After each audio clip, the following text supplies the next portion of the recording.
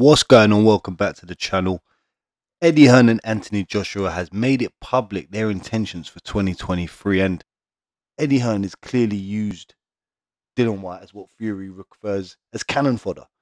Uses the man because when Eddie Hearn was solely responsible for Dillian Whyte, he could not deliver him a title shot, world title shot over 900 odd days. But as soon as Tyson Fury became the WBC champion and moved Eddie Hearn out the picture, bang, Dillian Whyte got his title shot.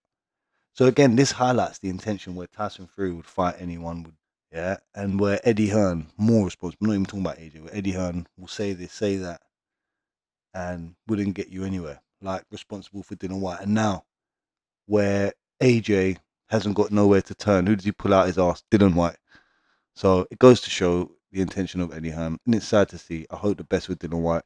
It goes to show that reality has finally hit home for the pair and they realise that they're well out of their depths fighting the best of the best of the heavyweight division, solid contenders outside the top, which is Fury and Wilder. Let's face it, Fury and Wilder will stand at the top of the heavyweight division um for a while, and there's some solid, solid people on the upcoming, like Jared Anderson, for example. Joe Joyce is looking amazing.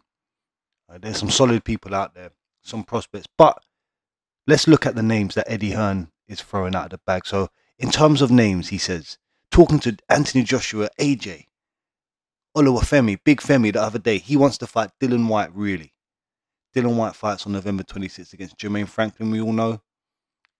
And Whyte is the front runner for Joshua, as he says. If he comes through against Franklin, Otto Wallin is a guy that's reached out numerous times. That's a good fight for him as well. And then there's the Deontay Wilder situation. He likes to pull Deontay Wilder out of his ass, Eddie Hearn, just to sort of tease people they're never going to fight uh, Wilder. Let's face it. The feeling for AJ is the value of, and by the way, none of them are easy fights. Who is he referring to? Wilder's the Wilder is not an easy fight. Yeah, Otto Wallin. But this goes to show reality's hit home for the pair, and they're realizing where they stand in the heavyweight division. Mentally, I don't think he can handle being at the top of the division. And I think fighting the likes of Dillian Whyte, Otto Wallin, Jermaine Franklin, you know, I think he will be more aggressive, will be more confident, and he'll produce a better display of himself, to be honest with you. But this is where they're at. And it's sad also to see in regards to Dillian Whyte because because they'll probably try and push him as the B side. This should be a 50-50 fight now. This should be. You know, Whyte actually fought the best in Fury, lost but has looked good other than that.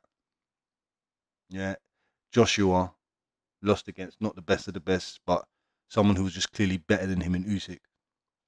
People say he's the best of the best. How? How are you gonna make that? How are you gonna make that calculation? Where AJ's clearly shown his depth, not shown his level, and Usyk gone and outboxed that person who's just got lesser ability than him. Does it now make Usyk the best of the best because he holds belts? Usyk went to hell and high water with Derek Chisora, remember. So let's just talk frank here. Usyk hasn't done anything to affirm himself as best for best of the best of the heavyweight division. Because he fought an empty Anthony Joshua and prior to that struggled with an older Derek Chisora whose game, you know, I love Derek Chisora, everyone does, you know, good fighting man.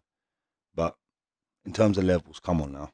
Look what Joseph Parker done to Derek Chisora. You know, Usyk couldn't, you know, pose those things onto mm. Chisora, and now they want to put Usyk above the likes of even Joe Joyce in terms of rating. So let's just face it, AJ has faced, I think, the end phase, and the days are numbered for Anthony Joshua, and I hope Dillian Whyte scores a big KO victory over Anthony Joshua, and that's why I think it's going to be a 50-50 fight because AJ hasn't lost to, as we just now clarified, he has not lost to someone who's solidified himself in the heavyweight division. I think Usyk fights Joyce and he gets he gets beat by Joyce. I reckon Usyk gets beat easily by Fury. There's even other people, you know, solid people. Jared Anderson will, will I think, will destroy Usyk. You know, so Dillian Whyte should be 50-50 in this fight of AJ. But I think Eddie Hearn's going to try and manipulate the situation, take the piss, and so on and so forth. I hope Whyte scores a big KO victory over Anthony Joshua if this fight happens in any case, this is the plans for AJ and Eddie Hearn for 2023. Let us know what you think in the comment section below. Like, subscribe. Be back with more.